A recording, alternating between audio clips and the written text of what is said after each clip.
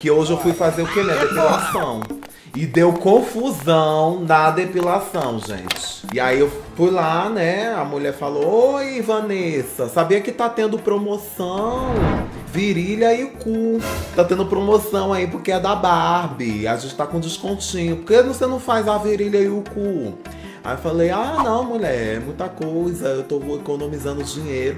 Não, mulher, faz sim. Aí eu falei, ah, tá bom, vou fazer depois. Mas bora aí que eu tô apressada, quero fazer logo minha depilação nas minhas pernas, que hoje que eu agendei pra isso. Eu fiquei lá deitada, bonitinha. E aí ela começou, é, então vamos começar. Aí aqui na coxa foi normal, o laser.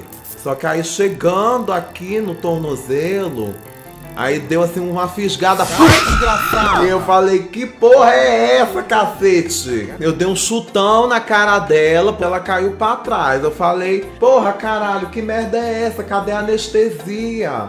Tem que dar anestesia, isso daí dói demais. Eu não sabia que ia doer assim, não. Se eu soubesse, teria no, no outro lugar que passa o gelzinho. Ela falou, não, mulher, isso aqui é normal. Vai, continua aí que você vai ficar lisinha.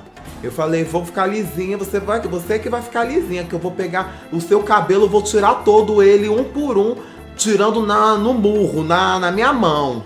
Eu vou arrancar o seu cabelo na minha mão, sua prostituta. Bora, cadê o, o anestesista para me dar anestesia geral para fazer esse laser, que eu não sou obrigada a sentir dor, que eu sou uma dama. E ela falou: Não, você tá doida, aqui não tem negócio de anestesia, não. Você é doente, não sei o quê.